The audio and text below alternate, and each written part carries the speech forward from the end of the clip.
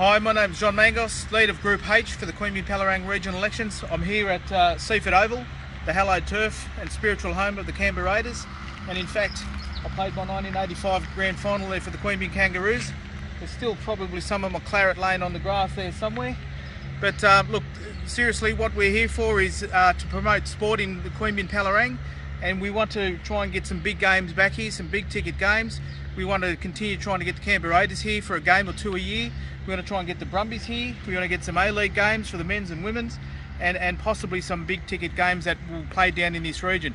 We want sports to be played here in Queanbeyan and the Palerang. We want a place for people to come to.